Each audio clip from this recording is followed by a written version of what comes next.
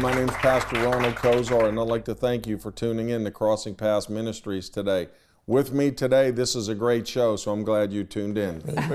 this is my beautiful wife, Deborah. I'd like to welcome her to the set today. The founder of Crossing Paths Ministries, Don Reed Sr., and his beautiful wife, Joyce Reed.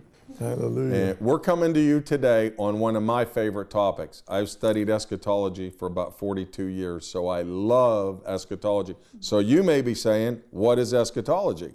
Well, eschatology is the study of the last days or the end times, specifically that's written in the book of Revelation and also Daniel. But what we're going to talk about today is some of the topics in the book of Daniel because so many of you have called in or have shown an interest in this or have a desire to know the answer about some of the things that's happening on the earth today with maybe Israel, Jerusalem, Great Britain, Germany, Russia. Is very big to know what's happening in Russia. Yes. And the most important is where we're going to spend eternity. So I'd like to turn it over to the founder, Don Reed Sr. Wow, you know, I think the Joyce has got my scripture here she's going to read, but let me tell you something. A lot of people in the church, at least when I wasn't saved, have no idea what's going on today. When I threw dice in Las Vegas, people, honestly, 9 11, I wasn't there naturally. I was, I was saved at that particular time, but I would not have stopped throwing dice. Mm-hmm. I was so possessed with another spirit. I knew nothing about Jesus Christ. Yes, I know the Ten Commandments, all that, and so forth. I wasn't saved. Now, Joyce is going to read this scripture here, and then now that I'm saved, this picture now becomes alive. Go ahead, Joyce. From Revelation 3 20, right? Yep. It says, Look, I stand at the door and knock. If you hear my voice and open the door, I will come in and we will share a meal together as friends. Those who are victorious will sit with me on my throne, just as I was victorious and sat with my Father on his throne. And you know, this is a picture, and maybe you've all seen it Jesus uh, or someone knocking at the door. You cannot open that from the outside. You have to open it from, there's no doorknob on that picture. No doorknob. So it's up to us, I think is what the picture is saying, right? It's Yeah. up to us Amen. to open that door And let him and in. And he will come in and sup with us. Yeah, see, now remember I said a minute ago, I said, I, I, I remember that picture, but it, until uh, years ago, I mean, that knob, you know, that knob, that wasn't even considering. All I just was a door Yeah. and Jesus there, right? Right. And now when you become saved and born again, John 3, 3, 1 Peter 1, 23, okay, now that my eyes have been opened, and I, all of a sudden, this Bible becomes alive. Now, Ron, I'm not, I've said this a hundred times, it makes a point. I I went to Westminster College, and I flunked Bible twice because I went there on a basketball scholarship, and I still made it and played and so forth. So that's over the hill, all right? Maybe something stuck with my old Dr. Hopkins friends. I don't know, right? But I'm standing here, and when I got saved, I started looking and saying, rapture? What the heck does that mean? Uh, great white throne judgments? Yep. I had no, I, don't forget, I took Bible for two years in a row, a class on Bible, but I still, since I'm not spiritually born again, it's just in one ear and out the eye or whatever, okay? Yeah. And one of the first, one, one of the many scriptures I got there when I, uh, when I started reading was this here was Revelation 20, verse 11. And listen to me, people, because maybe I'm getting across to you that I had no fear of God, by the way, Ron. Amen. You know, when I, the life I was living, a lot of people say, well, I fear God. Well, you don't fear God if you're breaking God's commandments or whatever, you know, even though you know you can't keep all the commandments. And no thought right? of death or afterwards. What? And no thought of death or life after. Nothing, nothing. Nothing. No, the only commandment I feared, honest to God, was killing someone Hmm. because I know I go to prison. But as far as committing adultery and the rest of them, I had no fear of God. Hmm. And I didn't know. I mean, that's why when hmm. they made the, the trailer of my life, as you probably will hear later on and see mm-hmm. sometime, right? Uh, I was so lost. Hmm. But when I became alive, mm-hmm. hallelujah, Amen. Mm-hmm. this Bible Hallelujah. become alive Amen. and I devoured it down in my cellar. But here's the one that stripped me. I wanted, and I saw a great white throne, and him that sat on it, from whose face the earth and the heavens fled away, and there was found no place for them. And I saw the dead, small and great, stand before God. Now, being an accountant here now, here's my part. Mm-hmm. And the books. and I'm glad there's no books in heaven for accountants because I don't want to do no more books, okay? And the books were opened, and another book was opened, which is the book of life, and the dead were judged out of those things which were written in the books according to their works. And the sea gave up the dead. Now, I can go on and read that, but Ron, I understand now then there's books in heaven, right? Yes, sir. And there's different types of books. I think there's five books in the Bible, and we're not going to go through each one of them, right? Right. And a lot of people think works will get you to heaven. Is that true? No. Being a being a good person is a good thing, but it won't get you into heaven. The the first base for us to open the door, the window that Joyce was talking about, that door for you to be able to get into heaven is you must receive Jesus as your Lord and Savior. Amen. Without Jesus, you're never getting into heaven. That is one thing that everybody agrees upon. So we must accept Jesus Christ as both Lord and Savior. Mm-hmm. What about the people that think that I do a lot of works? I've been a good person all my life and so forth. Even though we read it, we're talking now about the great white throne judgment, right? Yep. This is the people who are lost hmm. that have never received hmm. Jesus Christ as their Lord and Savior, right? Right. They're going to come out of the grave and they're going to stand before that great white throne judgment, right? Yep. We know, I'm not going to get off here the track here, we know there's another judgment. Yep. That's the judgment seat of Christ. Yep. That's for all of us here, Right. all of you out there, the who believers, Acts 16 31, believe in the Lord Jesus Christ, thou shalt be saved, right? And in, in the Old Testament, it said Abraham believed in the Lord, and the Lord counted that unto him for righteousness, okay? Right. So here, the books are open, and that's when they're going to be a, they'll be cast into hell. Am I right, Ron? Those names are not written in the book of life, Well, let's look and see what your Bible says because I'm using your Bible today. okay? Your Bible says right here where you quit reading, it says, And the sea gave up the dead which were in it, and death, so death and also hell delivered up the dead which were in them, and they were judged every man according to their works. And then listen what happens. And death and hell were cast into the lake of fire. So listen, this is the last stage. A lot of people think they're going to go to hell. Well, when you go to hell, hell is simply the holding tank. Hell is that place where you go and stay until this judgment that Don is talking about. Now, Don said that there is a, notice I said Don said. So if you get mad at me, I just say Don said. but we do have a judgment seat of Christ. Now, what Don meant by that was, is there is a there is a judgment seat that Jesus will sit on. Now, Jesus is going to judge us who've accepted him as Lord and Savior. Now, it tells us in 1 Corinthians, it says that every man shall be tried as though by fire. So, when our works are tried by fire, the Bible says some people are going to have wood, hay, and stubble. That's going to be our sin. And then the fire of God is going to consume that. But then other people are going to have silver, gold, and precious stones. That's what we're going to get rewarded by. So you're going to get rewards for doing good once you know Jesus, and also penalties for your sin. Same as for the people that don't know Jesus. Now, for those of you who, who are saying, well, I'm just a do gooder, but I don't know Jesus, that's why it's so important to know Jesus. The same thing happened to you. Why? Because God's a fair judge. But in the final stages here, what Don read, right before Don, where he read that in verse 10, it says, And the devil did deceive them, he was cast into the lake of fire and brimstone, and also the beast and the false prophet was there, and they shall be tor- tormented there day and night forever. Then we know death and hell was cast into the lake of fire. And what's beautiful here, and I'm going to stop with this it says, This is the second death, and whosoever was not found written in the book of life, these were the people that are cast into the lake of fire with death and hell and the devil forever. So the key is is making sure that our name is written in the Lamb's book of life. Ron, in that verse 10, 10. uh, yeah, chapter 20, Yep. is that what they refer to as the devil's trinity? yes. The Yeah. beast, the false prophet, Mhm. And the devil. and the devil. The devil, the There's always beast, a and the false. counterfeit. Right. So, Just like Deborah said, there's always a counterfeit. She Yeah. said the Father, Son, Son, and the Holy Holy Ghost. right. You have and the, the- devil here, the, the false prophet, and the beast. Oh, Yep. But th- this is the layout, and a lot of people don't understand this, but that's basically how, when Don was talking about the judgments, how it is going to be in, in the last days. That's how it's going to break down.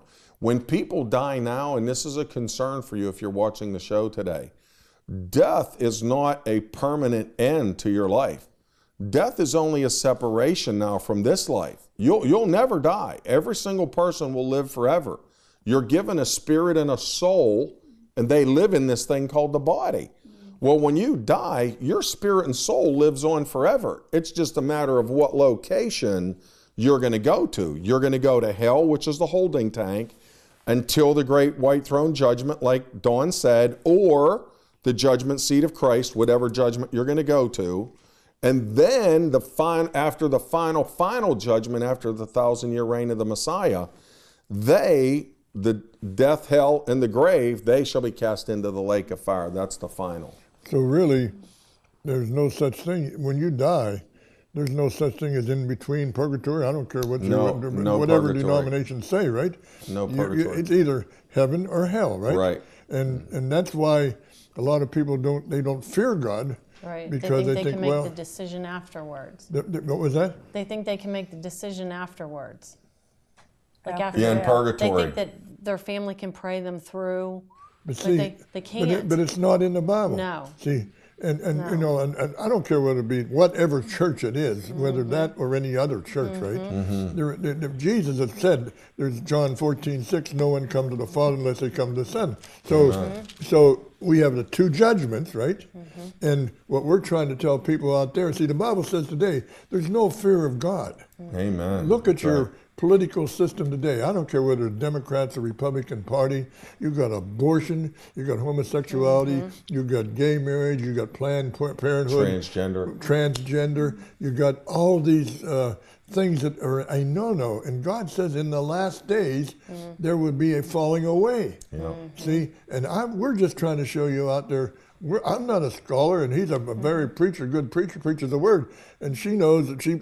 You run across people that come and take food and everything else, right mm-hmm. down in your ministry, mm-hmm. right? You have a chance to tell them about Jesus, right? They have no idea about judgments. Am I right? Right. You have to do the best you can, right? Yeah. I, I'm just telling you today, people, that, that God has using anything at all time. Joyce, you know your background, right? When you got saved, right? You you went to another church, right?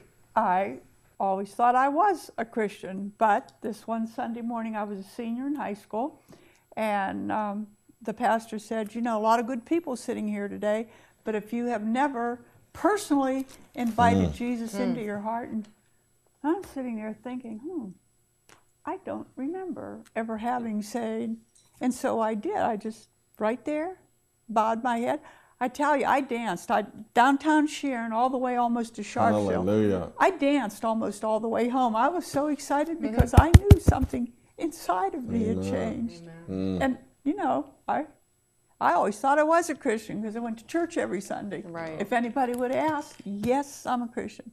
But God just sealed it that day for me. Amen. Just sealed. God didn't tell us, He didn't say you had to be a Christian. Jesus said, a man must be born again. Right. There's a difference. That, that, and Don quotes it a thousand times. That John chapter 3, when Jesus came to Nicodemus by night, he was a religious ruler. And Nicodemus said, What must a man do to enter into, into heaven? And Jesus said, Listen, a man must be born again. Yeah. That's it. You must be born again. And Nicodemus said, How am I going to be born again? Am I to enter into my mother's womb? That's a good question. And Jesus said, No. He said, That which is born of flesh is flesh, but that which is born of the Spirit of God hmm. is spirit. So listen, my friend, if you're watching today, you're rather born of the flesh, and you know you're born of the flesh, or you have been born of God. And that's what we're, that is everything that this ministry is about. Don's preached it over and over and over again. It's souls and making sure that you're prepared for eternity. That's why we're here. And that is the deciding factor. Everything else is secondary, but you got to make sure that you are born again. Not if you're Catholic, not if you're Baptist, not if you're Presbyterian, not if you're not if you're Christian. Because we've titled. We've right, given it a title uh, title right. instead of born again. A we give it a man title. must right. That's a good point. It's not Yeah. uh, even a Christian. It's a man must be born again. So from now on, and my mom just did this recently. So when we put down, when they ask you what your religion is, That's right. I just watched her recently write down born again. she did that on a form. Yeah, she And did. She wrote down born again. She did. Yep. Oh, wonderful. Yeah, she asked my father, "What religion are you?" And he was like, "Well, the same as you." And she goes, "Well, are you born again?" Uh-huh. You know. And I look back on Yeah. it, and she wrote "born again." Oh, she did not write. Christian. She wrote "born Yeah. again." Oh. Well, probably, true. probably whoever read that wouldn't even understand that. yeah. but who knows? That's Maybe it was a seed planted. Find out what is born again. Yeah. You must You be born again. Just like Ron said there, right? You know, and, and you know, to summarize up this program, and this is true, Ron, and, and or, you know, crossing paths here, you know, I have met so many people in my office being a taxman and, and my staff knows where I stand and so forth. But here's a simple message that I want to leave with everybody, and it is simple because, you know, a lot of people in my office when I'm doing their tax return, and I have to use this little trick I do, but I got their W 2, they're trapped. they cannot leave. So they got to hear the gospel. I never had one person really get mad at me. Only one person in my lifetime, and I've been in the business now 50 years. And I said to her, she said, I, she said, Don, I found the perfect church. And I said, well, if you join, it won't be perfect anymore. And she got so mad, she never come back. She was full of religion. Perfect. She didn't know Jesus. Oh. But I explained to my clients, and you can explain to your kids, it's very simple. There's another man that come into my office one day, and I was telling the scripture, and I said, "Are you born again?" He said, "I go to church." Now this is the first thing they'll say, or I'm a Baptist, or I'm a Methodist.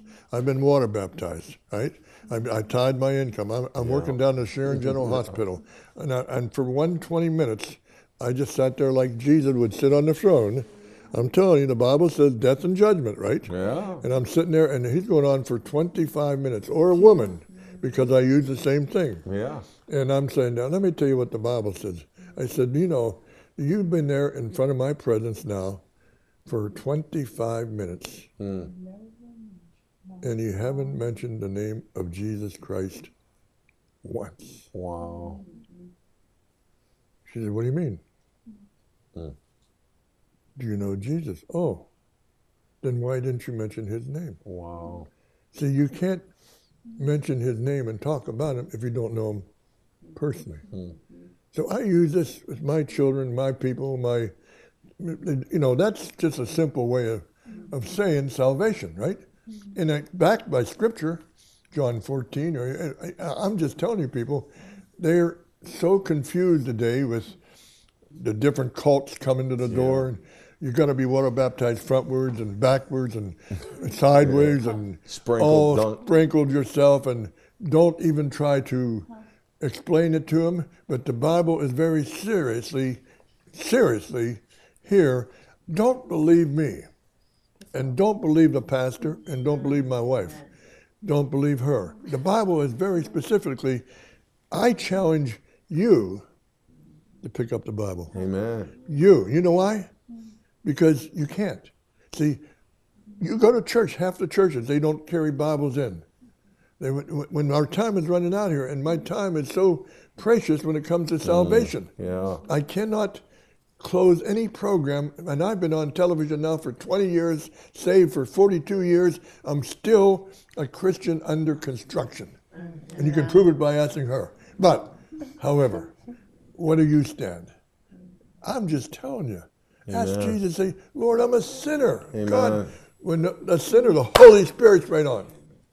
Say, Lord, right now, forgive me for my sins. I believe. You see, when you say believe, you receive. John 1.12 says to all those who receive and became sons of God. I'm telling you, you receive. Say, Lord, forgive me. When the Lord hears that, Ron, Yes. he took all my sins, and I use this illustration, bushel basket, Niagara Falls, in the top, and sea of forgetfulness. Amen. How about that? Amen. And the next day, it wasn't quite as full. But you know what? There'll probably be a bushel basket tomorrow. But guess where it goes? Sea of forgetfulness. I'm free. John 8:32 says, "You shall know the truth, and the truth shall set you free." John 8:36 says, "If the Son shall set you free, you're free indeed." I was an alcoholic. I was a gambler. I was a liar. I was an adulterer. But I am free. Do you want to be free today? Say, Lord, I'm a sinner. Accept me now. I believe that you died for my sins, arose from the grave. Write my name. We just said, write my name in the Lamb's Book of Life. You see? Two books. Lamb's Book of Life and say, Lord, right now, I thank you. Now start thanking Him. Now we have a telephone, 724 981 7777. God's perfect number. Or 855 981 9777. Call somebody. Please make that commitment today. Today is the day of salvation. God bless you. We love you, and Jesus loves you too.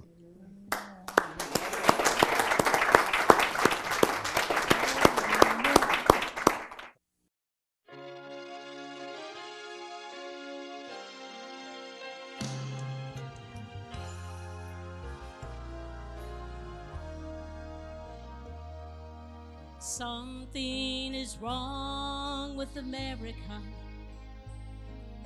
She once held the Bible as her conscience and guide, but we've allowed those who hold nothing to be sacred, like Sodom of old, to push morals aside. Where are the men who once stood for right? And the women who championed their cause. We must return to the values we left before this country we love is totally lost. We want America back.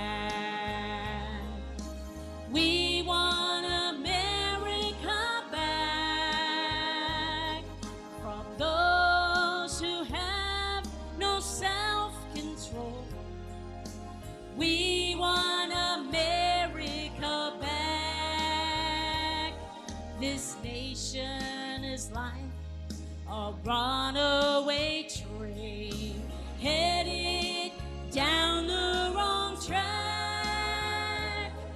It's time for the army of God to arise and say, We want America back. I love America, but I do not love what she has become. Scripture says, Blessed is a nation whose God is the Lord. But America has forgotten the godly foundation upon which she was built. Something is wrong. Our children are asked to attend public schools that, in many cases, resemble war zones without even the most basic right of any soldier the right to pray to the God of heaven. Many times, the wild eyed, drug addicted, gun carrying teenager is allowed to stay in school, while our Supreme Court decided to expel God from the classroom over 40 years ago. Something is wrong. Television daily bombards the senses of our nation with the idea that wrong is right, that the abnormal is normal, that the abhorred is acceptable, and that what God calls an abomination is nothing more than an alternate lifestyle. And it's had an effect. 40 years ago, the number one television program in America was The Andy Griffith Show. Look what we have today. Something is wrong when our government can pass out contraceptives to children in school without parental consent. And yet the Gideons can no longer pass out the Bible on campus. Something is wrong when our leaders can say to your children and mine that premarital sex is all right as long as it's safe. Yes, something is wrong. And I, for one, am ready for a change. I would say to my government, I'm not raising dogs at my house. I'm raising children created in the image and likeness of Almighty God. And I'm going to teach them the Bible. If the Bible says it's right, it's right. And if the Bible says it's wrong, it's wrong.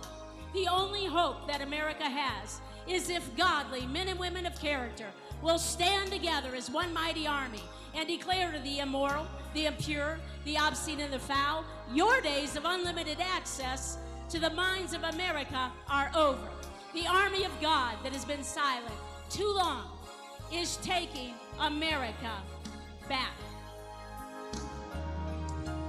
We want America back.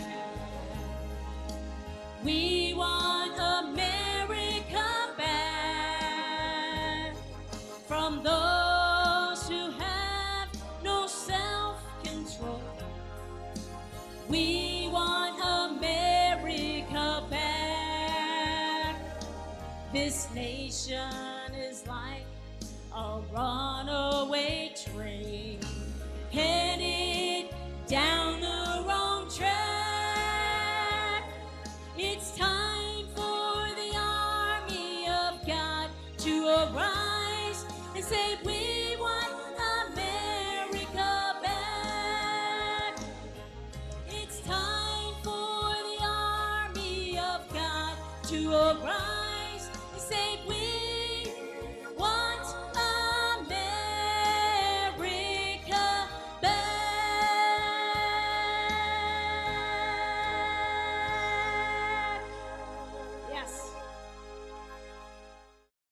You support Crossing Paths, you're helping to release the power of testimony.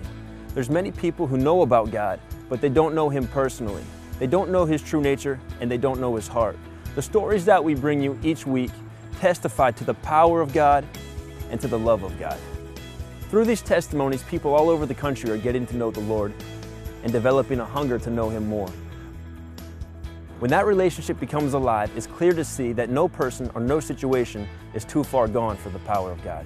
I like to share with people that it's very important to know who you are in Christ because that day, if that was me laying there, I know that I would have missed uh, heaven. Revelation 12:11 says, "And they overcame him, referring to the devil, by the blood of the lamb and the word of their testimony."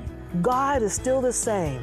He's still this, God's word is still the same. They say times are changing. Times are changing, but God is still the same. it's, it's a no brainer for me. You don't have to have a doctor degree to know that oh. God is good. He loves sinners. He just does not like the sin. When you partner with Crossing Paths and sow a seed into this ministry, you are helping us get the power of the testimony and the gospel over the airwaves. This will help people understand better who God is and connect them to the plans He has for them. Please call us today and support this vision.